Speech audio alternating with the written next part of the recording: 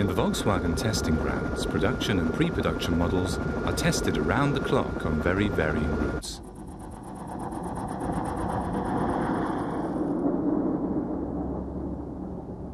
One of these routes is known as the critical course.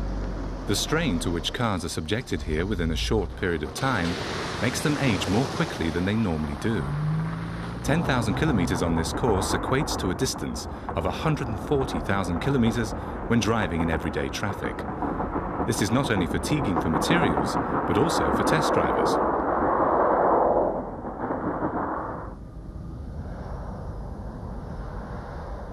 In the course of developing driver assistance systems, it was Volkswagen's aim to demonstrate ways of relieving the strain on test drivers. The Autonomous Driving Research Project thus came into being. The object of the project was to examine how vehicles could cover the critical course independently without subjecting test drivers to the exceptional strain this entails.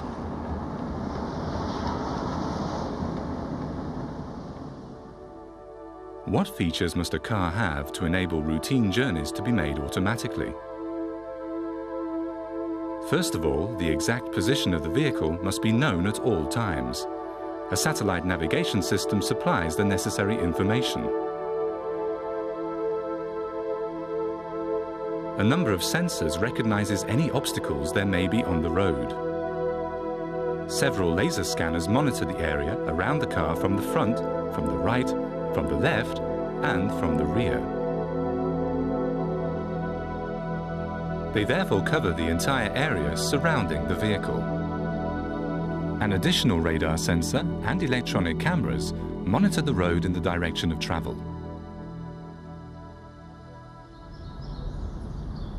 The Volkswagen Group Research Division fitted a test car with various sensors to enable the position of the vehicle and any obstacles to be pinpointed.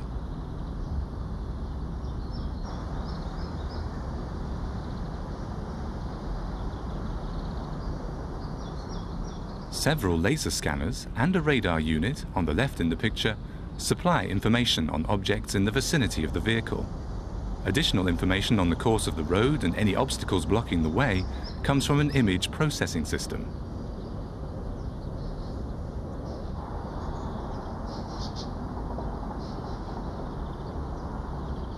This is the aerial for receiving satellite signals, which serve to determine the position of the vehicle on the Earth's surface.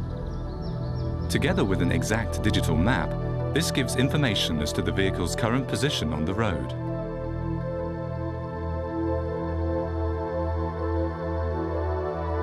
Once the starting point and destination have been entered in the system, a corridor is calculated, through which the exact route of the vehicle is set.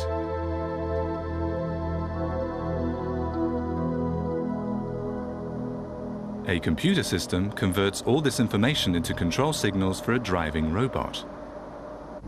The robot then turns the steering wheel, operates the accelerator, clutch and brakes, and changes gear.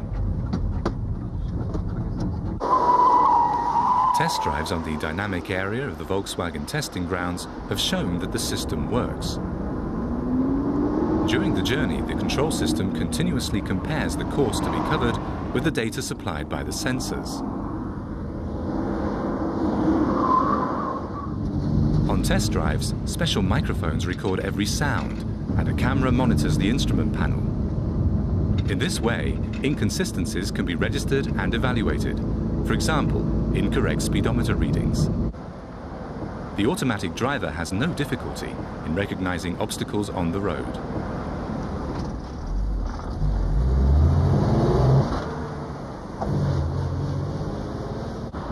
Be on the safe side, the vehicle has a second assistance system. This intervenes only if there is danger of a collision. If objects are detected, the system checks while the vehicle can brake or safely avoid the obstacle. In some cases, however, it is not possible to drive around the obstacle, and the vehicle then remains stationary in front of it.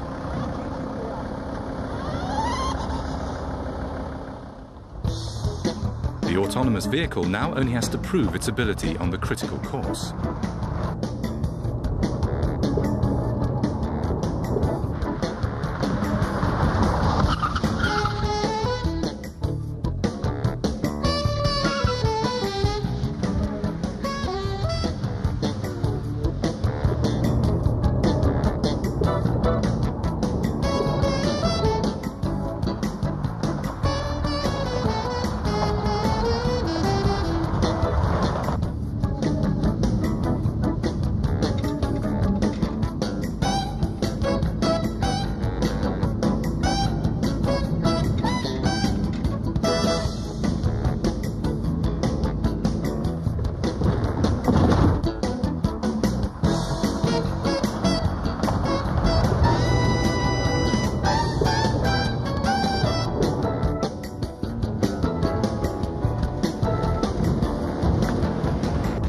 Shall undoubtedly continue to drive our cars ourselves in future, but these findings are already being included in the development of new vehicles. Together with its partners and with the support of the state of Lower Saxony, Volkswagen has demonstrated the feasibility of a system of this kind.